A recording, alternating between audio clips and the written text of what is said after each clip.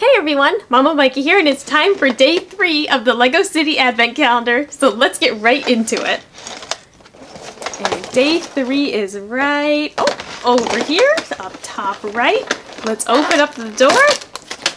And what do we have today? We have, oh, it looks like an amp and a microphone, which would go perfect with yesterday's rescue worker woman and her big red guitar. So let's take out our PCs. And we can, oh, oh, wow. The packets are really big in this one. In the LEGO Star Wars Advent Calendar that I did last year, the packets were a lot smaller, and so some of them are getting stuck as I'm taking them out of the doors.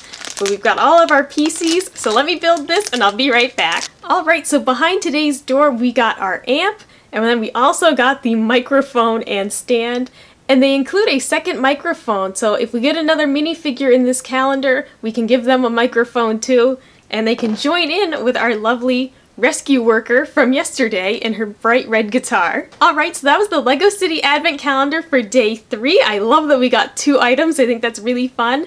Let me know in the comments below if you're doing this calendar or if you're doing a different one. Let me know what your day three was. Like, comment, and subscribe if you'd like to see more, and I'll see you next time. Bye!